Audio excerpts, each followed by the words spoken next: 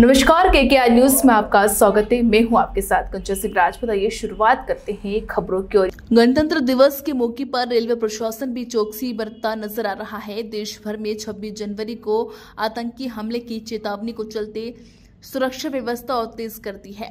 Rail विभाग द्वारा भी यात्रियों को सुरक्षित यात्रा को लेकर चौकसी बरत रहा है। जिसके बाद चलते ट्रेनों में जहाँ चेकिंग अभियान चलाया जा रहा है, वही स्टेशनों पर भी हर संदिग्ध की गतिविधियों पर नज़र रखी जा रही है। और संदिग्ध लगने वाले लोगों से पूछताछ की जा रही है तो वही डॉग स्कॉट पर यात्रियों के सम्मान की जाँच में जुटा हुआ है।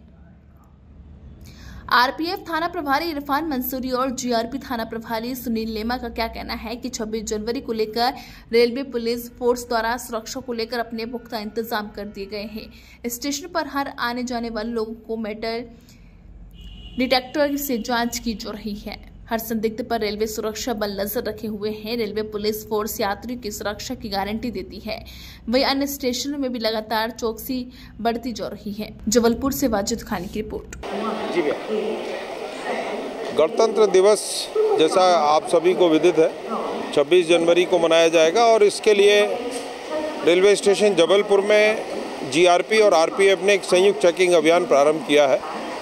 इस चेकिंग अभियान के तहत रेलवे स्टेशन के सभी प्लेटफॉर्म, टिकट विंडो मुसाफिर खाना पार्सल ऑफ़िस, बुकिंग ऑफ़िस, इन सभी की बड़ी बारीकी से चेकिंग की जा रही है, खासकर संदिग्ध व्यक्तियों की चेकिंग और ऐसा सामान जिसका कोई दावेदार ना हो, इन सभी वस्तुओं की सघन चेकिंग की जा रही है।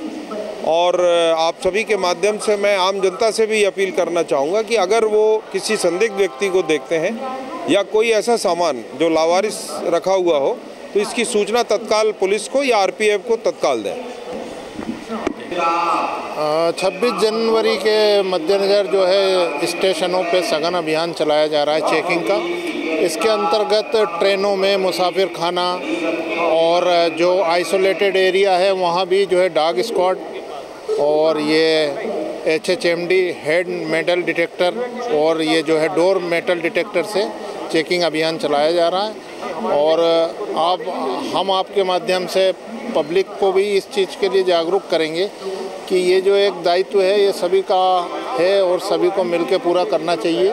तो इसके लिए जो है यदि उन्हें कोई भी ऐसी चीज़ लावारिस मिलती है तो इसकी तत्काल सूचना नज़दीकी पुलिस स्टेशन या जो भी यूनिट है उसको दें। छात्र छात्राओं की भीड़ है काफ़ी। हाँ अच्छा अब ये रिक्रूटमेंट वगैरह है और रेलवे में भी अभी जैसा कि ग्रुप डी की भर्ती चल रही थी तो और इसके अलावा छुट्टियाँ भी समाप्त हो रही है छात्रों की। नए सत्र से, नए सेमेस्टर के कॉलेज स्कूल खुलने वाले हैं। उसके मद्देनज़र भी ये भीड़ आपको अधिक दिखाई दे रही है। अभी के लिए बस इतना ही। हमारे चैनल में बने रहने के लिए हमारे चैनल को लाइक शेयर सब्सक्राइब करना ना भूलें।